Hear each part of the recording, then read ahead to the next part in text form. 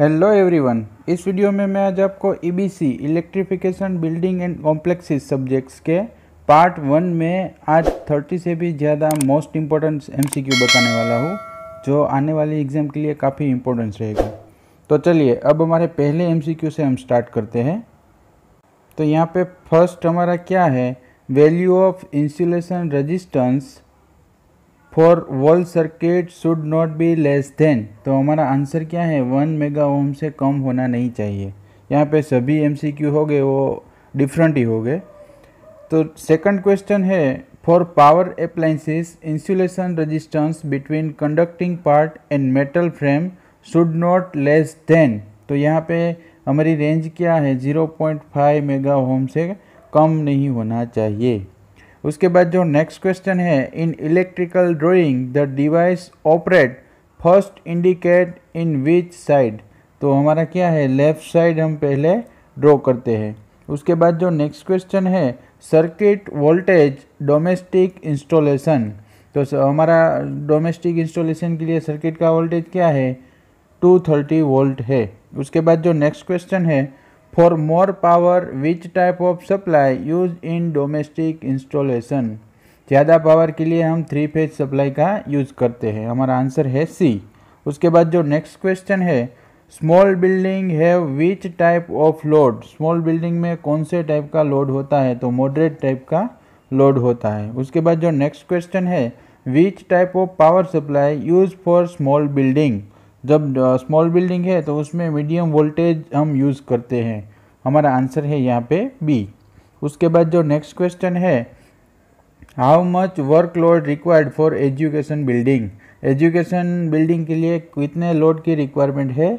Less than eight hour per week उसके बाद जो नेक्स्ट क्वेश्चन है load is single phase system connected is जब सिंगल फ़ेज़ सिस्टम में लोड किस तरह से कनेक्ट किया जाता है तो वो पैरेलल में कनेक्ट किया जाता है, इसलिए हमारा आंसर है ए उसके बाद जो नेक्स्ट क्वेश्चन है what is the colour of neutral wire neutral wire का कलर क्या है? तो हमारा आंसर है यहाँ पे ए ब्लैक कलर होता है न्यूट्रल वायर का. उसके बाद जो नेक्स्ट क्वेश्चन है if line voltage is four one five volt then phase voltage is कितना होता है? तो हमारा आंसर है यहाँ पे सी टू फोर्टी वोल्ट क्या हमें लाइन वोल्टेज और फ़ेज़ वोल्टेज का जो इक्वेशन है, उसके हिसाब से हम फाइंड कर सकते हैं कि line voltage is equal to root three multiply by phase voltage तो यहाँ पे हमें कौन सा वोल्टेज फाइंड करना है? हमें यहाँ पे लाइन वोल्टेज दिया गया है तो हम फ़ेज़ वोल्टेज से इस इक्वेशन की मदद से फाइंड कर सकते हैं। तो यहाँ पे हमारा इक्वेशन है V L is equal to root three multiply by V B H उसके हिसाब से।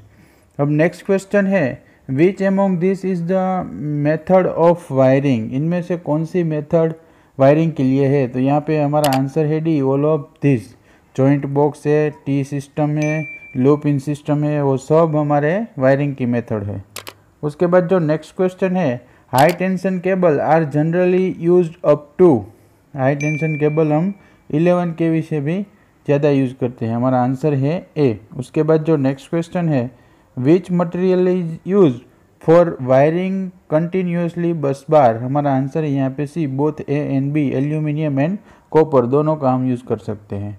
उसके बाद जो नेक्स्ट क्वेश्चन है the surge resistance of cable is cable का सर्ज रजिस्टेंस कितना होता है? तो 50 ओहम हमारा आंसर है यहाँ पे सी उसके बाद जो नेक्स्ट क्वेश्चन है the thickness of a wire conductive copper part in identify in यहाँ पे हमारा आंसर है डी ऑल ऑफ़ द एबो इसमें क्या है?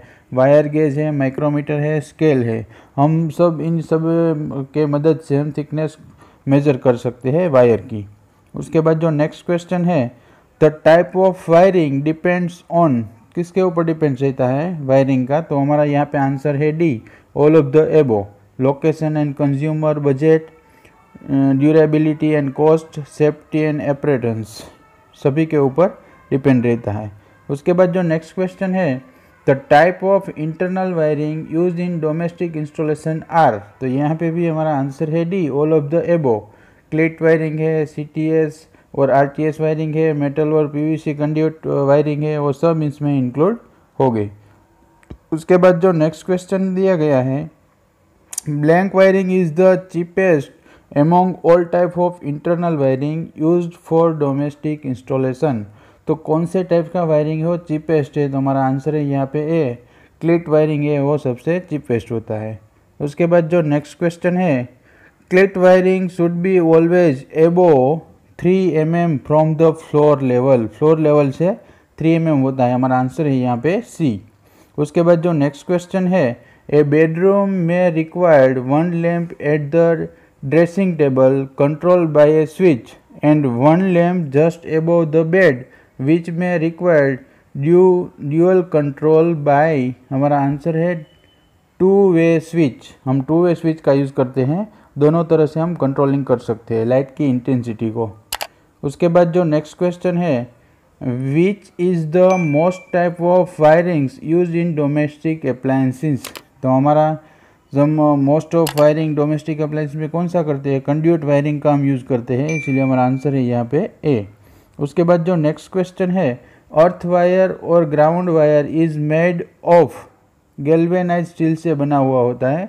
अर्थ वायर होता है या ग्राउंड वायर होता है, इसलिए हमारा आंसर है यहाँ पे डी उसके बाद जो नेक्स्ट क्वेश्चन है average resistance of human body is resistance का ह्यूमन बॉडी का कितना रजिस्टेंस होता है? तो 1000 थाउज़ेंड ओहम होता है। हमारा आंसर है यहाँ पे बी उसके बाद जो नेक्स्ट क्वेश्चन है which of the following is not use as earth continuity conductor यहाँ पे आंसर है हमारा D all of the above water pipes gas pipe structural steel members वो सब इसमें इंक्लूड होते हैं।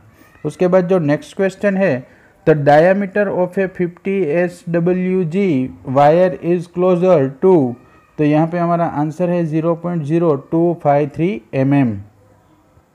उसके बाद जो नेक्स्ट क्वेश्चन दिया गया है, the maximum wars power up to which four four volt electric motor are use is, हमारा आंसर है यहाँ पे A 200 hundred H P horse power के लिए यूज़ किया जाता है। उसके बाद जो नेक्स्ट क्वेश्चन है, the earthing electrode should be suited at a place at least blanks metres away from the buildings was installation system is being earthed तो हमारा आंसर यहाँ पे कितने मीटर? 1.5 मीटर। हमारा आंसर है यहाँ पे ए उसके बाद जो नेक्स्ट क्वेश्चन है danger four four volt four forty volt plates are क्या लिखा हुआ होता है? तो हमारा आंसर है यहाँ पे बी क्वेश्चन नोटिस लिखा हुआ होता है। हमारा आंसर है यहाँ पे बी उसके बाद जो नेक्स्ट क्वेश्चन है हमारा when diversi diversification of load is use when diversification of load is use तो हमारा कितने पावर के लिए हम यूज़ करते हैं? हमारा आंसर है सी लार्ज पावर के लिए हम यहाँ पे यूज़ करते हैं। उसके बाद जो नेक्स्ट क्वेश्चन है what is the value of diversity factor for domestic load domestic load के लिए डाइवर्सिटी फैक्टर कितना होता है? सिक्सटी सिक्स परसेंटेज होता है। यहाँ पे हमारा आंसर है B.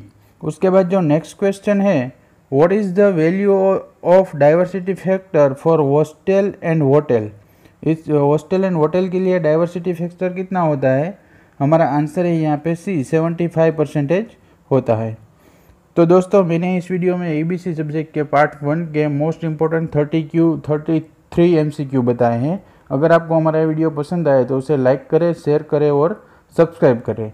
Thank you for watching my video